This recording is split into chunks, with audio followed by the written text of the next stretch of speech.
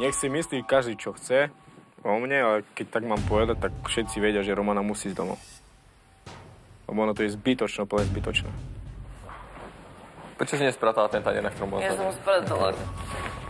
Čo ty? No, sa ro... už sa učíme? Áno. Dobre. Ešte ja, e, Môžeš. ona normálne, ja jej vysvetľujem, že ona, ona už normálne je presvedčená a ešte furt tak nebolo, aby Romiňo, by niekto si... povedal. Romiňo, zamiešaj karty. Ale čo by miešal? Však ale on mi to normálne povedal ako normálny Ale ja aj človek. Vlado mne to povedal, asi si bola presvedčená, že by to urobila a neurobil by to. Teraz je môj prvý duel a keby som prehral s takým človekom, čo gengľavý je, tak neviem, to asi aj aj starých farmálov by šľak trafilo. Ja Rásťo bol sa idem presvedčený, že si zoberie baliť, Mateja. Tak mi dajte pokoj. Ja sa idem. No tak ja sa idem tiež baliť. Ja si idem tiež dať kúpel. Povedz sa všetci pobalili, tu si pozrela na A všetci sa poďme okúpať. A čo ste robili? Balili sme sa, bo Robíňo si chcel zobrať každého. Nikto nevedel, čo má robiť.